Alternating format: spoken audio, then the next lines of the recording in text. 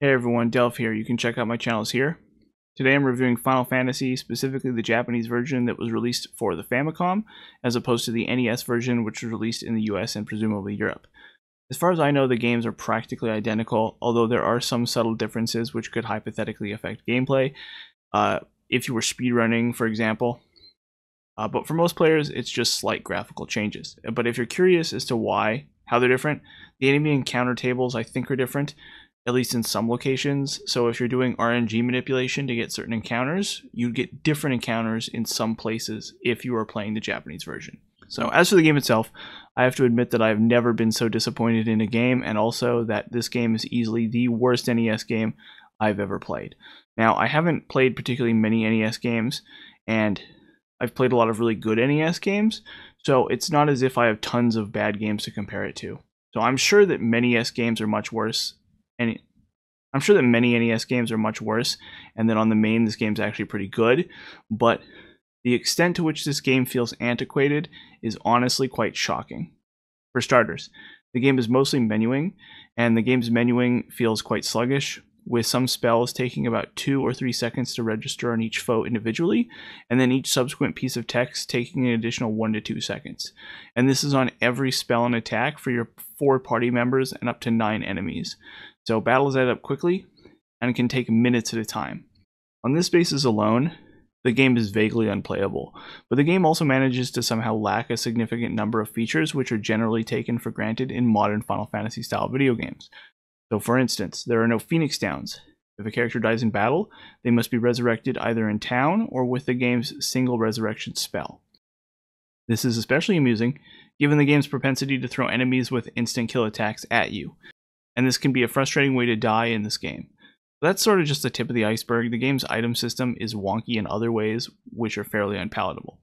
So, for example, if you are buying items in an item shop, you can only buy one item at a time. This is obnoxious, but it's exacerbated by the game's single biggest problem, that being that there is exactly one type of potion in the game, and it heals for only about 30 HP. So in modern Final Fantasy games, this is not the case. More expensive healing items that heal for more HP are fairly common, meaning that if they had simply implemented a stronger potion, buying only one item at a time would have been fine. Instead, you may have to sit there in the shop and spam the buy button on potions for minutes at a time because you are going to either want or need 99 potions from many dungeons, depending on where you are in the game and your exact strategy. Now, to be fair, there are ways around this, potentially.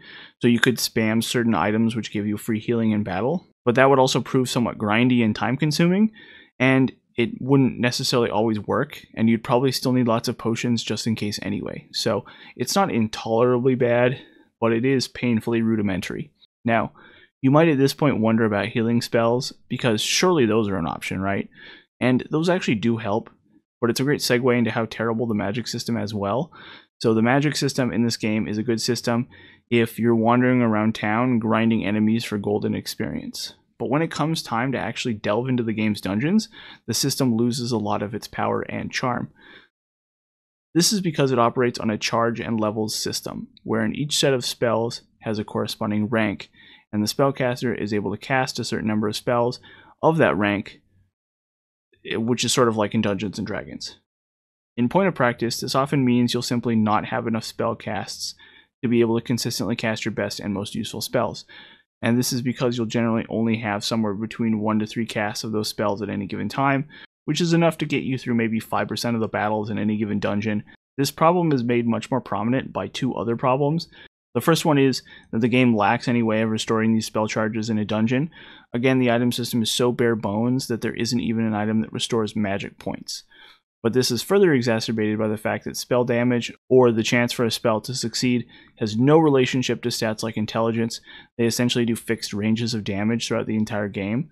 Now, this makes ranks 1 and 2 spells practically worthless after you've beaten the third boss, and that means that those 6 rank 1 spell casts you have are virtually worthless. Now, to be fair, that means that a magic user with healing spells in rank 1 can simply spend all of those spell casts on healing spells.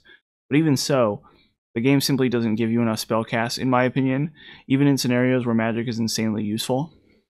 And the game's designers knew it was a problem, so the second half of the game is littered with items that can be used to cast certain spells an infinite number of times.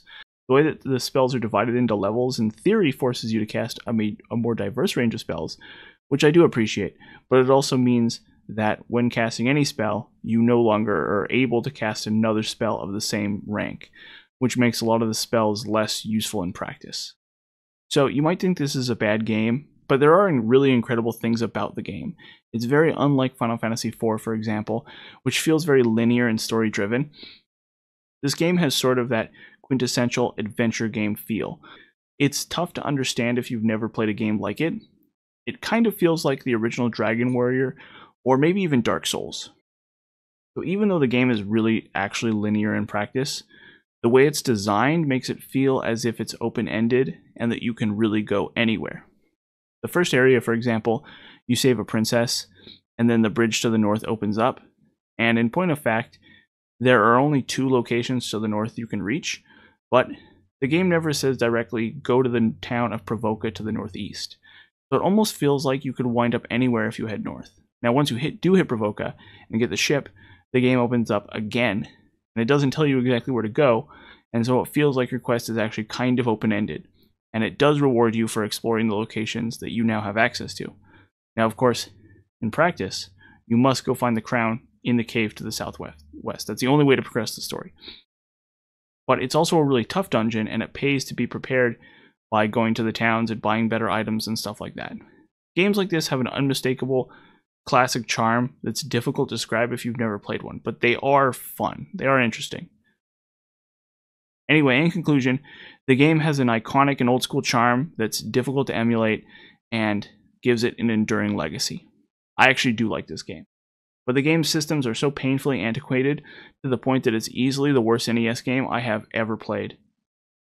And again, haven't played a ton of NES games, not an expert on NES games. I've played a bunch of really good NES games, so it's not really a fair comparison. Um, but it's still the worst NES game I have played. The game is sluggish, balance is all over the place. It's a very frustrating game unless you're cheesing and grinding, uh, which would be the way I'd recommend playing this game if you want to. Um, I was a little disappointed though, because I'm very nostalgic for the Game Boy Advance remake of this game. Uh, that GBA version of this game is probably my favorite Final Fantasy game, so I cannot possibly recommend playing either the Famicom or NES version of this game, even if there is some charm to them. I would highly recommend one of the remakes or remasters, which I do believe are an improvement over the original version in almost every way, and I'll cover those in the future. So, thanks for watching.